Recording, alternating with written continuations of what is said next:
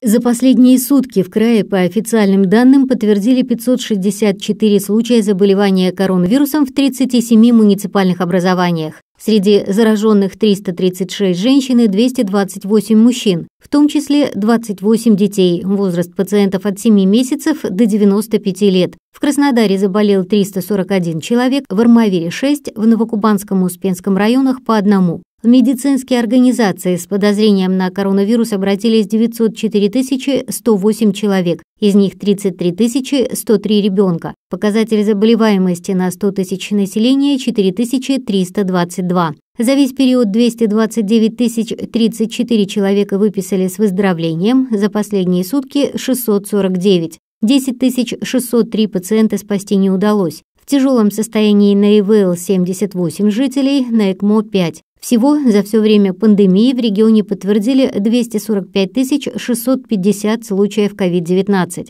Продолжают стационарное лечение с подозрением на коронавирусную инфекцию 2296 человек, из них с подтвержденным диагнозом 1145. На амбулаторном лечении с подозрением на коронавирус 9000 человек, в том числе 4868 пациентов с COVID-19 на дому. В лабораториях края провели 6 миллионов 757 тысяч 300 исследований. Директор Центра эпидемиологии и микробиологии имени Гамалеи Александр Гинзбург заявил, что сейчас еще преждевременно говорить о завершении пандемии коронавируса в России. Он считает, что в стране царит старая волна с достаточно высокой смертностью, а в мире уже бушует новая.